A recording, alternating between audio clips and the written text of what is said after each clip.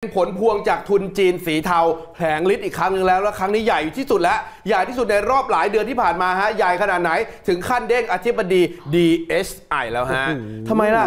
ท่านดันไปพัวพันกับการไถเงินทุนจีนสีเทา นี่ใครท่านรัฐมนตรี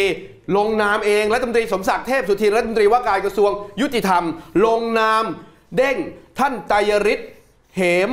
เตมหิวงอธิบดีกรมสอบสวนคดีพิเศษหรือ DSI ฮะไปปฏิบัติราชการที่สถาบันนิติวิทยาศาสตร์ รักษาราชการแทนผู้อำนวยการสถาบันนิติวิทยาศาสตร์ไปก่อนปม เรื่องของเรื่องคือก่อนหน้านั้น ตัวท่านเนี่ยไม่ได้อยู่ในเหตุการณ์ แต่ตัวท่านเหมือนเป็นประตูเบิกทาง จนนำไปสู่การไปรีดไถเงินทุนจีนสีเทาขนาดไหน เหตุการณ์ดังกล่าวนี้เนี่ยคือมีกำลัง DSI เจ้าหน้าที่นะ DSI ตำรวจทหารเป็น 10 นายเลยนะ เป็นเกือบจะ 20 นายอะบุกเข้าไปแล้วไปแอบงุบงิบงุบงิบรับสินบนจากทุนจีนเพื่อแลกกับการปล่อยตัว บุกไปที่บ้านของอดีตกงสุลนาอูรูนาอูรูอะไรคือนาอูรูประเทศนาอูรูเราจำปีใหม่ได้ไหม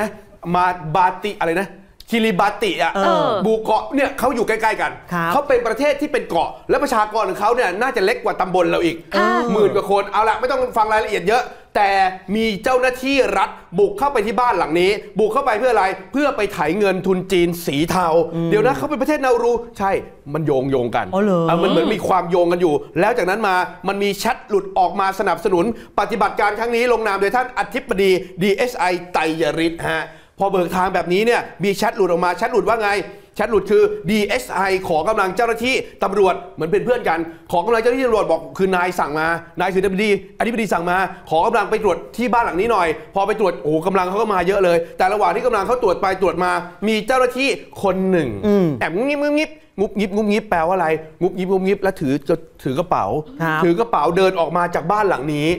กล้องวงจรปิดจับภาพได้ในบ้านฮะ เดินออกมาจากบ้าน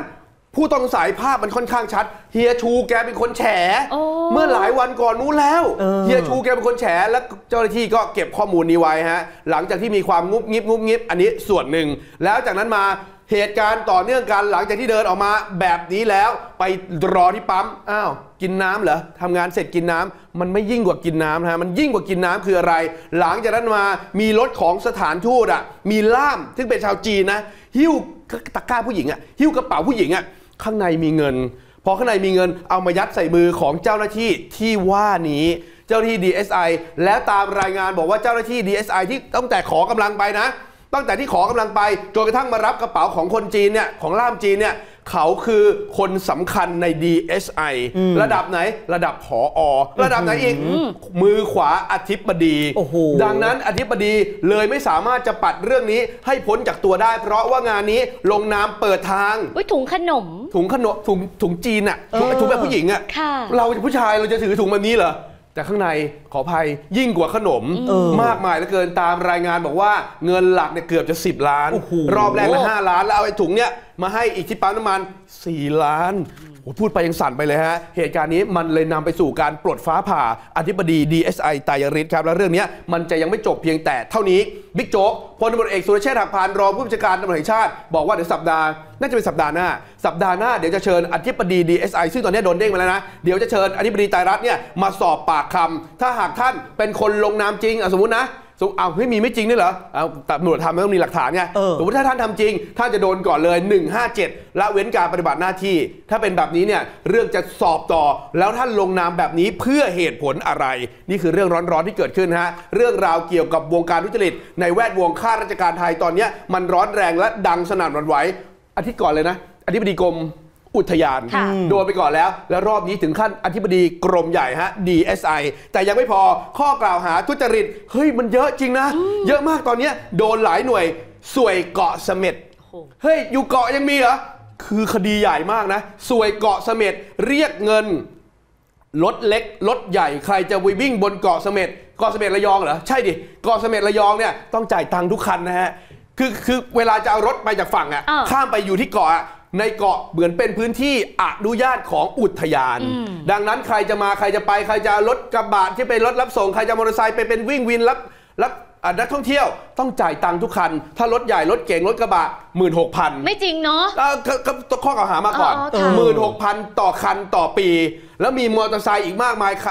พันหกร้อยบาทต่อคันต่อปี คนก็เลยมาร้องเรียนฮะ และยังไม่พอยังมีเรื่องของเรือ มีทั้งทางบก มีทั้งทางเรือ และผู้ประกอบการโดนรีดฟิตฟิตฟิตไปตามๆกัน แต่เมื่อวานเนี้มีท่านผู้อำนวยการสำนักบริหารพื้นที่อนุรักษ์ที่ 2ศรีราชา ท่านก็ออกมาชี้แจงนะครับว่าไอ้เรื่องการเก็บเงินยานพาหนะเนี่ยเป็นไปตามกฎกระทรวงแล้วไม่ใช่หมื่นหกอะเขาก็บอกหมื่นหกอะไงแล้วเก็บเท่าไหร่สองพันโอ๊ยสองพันเองทำไมเลขมันต่างกันเยอะจังระวังพัง งานนี้มันใหญ่เก็บแค่ 2,000 เท่านั้นเอง แต่ข้อกล่าวหาว่าหมื่นหกต่อคันต่อปี อันเนี้ยจะมีการตั้งกรรมการขึ้นมาสอบนะครับ ช่วงนี้ถือว่าข้าราชการไทยขาขึ้นเป็นแถบๆฮะดิฉันอยากจะบอกบุคคลที่เป็นผู้จ่ายตังค์เสียตังค์ไปนะเป็นยังไงเออคุณอย่าไปกลัวครับณไปจับมือกับคนที่เสียเงินพร้อม ๆ กัน แล้วออกมาพูดเอาหลักฐานมาเหฟามือนโยดนระเบิดเลยอืมทีเดียวตุ้ม เพราะว่าถ้าไม่มีใครกล้าทำเนี่ยคุณก็เสียเงินอย่างนั้นไปอยู่ทั้งปีทั้งชาติอะค่ะอืมระบบมันก็ไม่ได้รับการแก้ไขสักที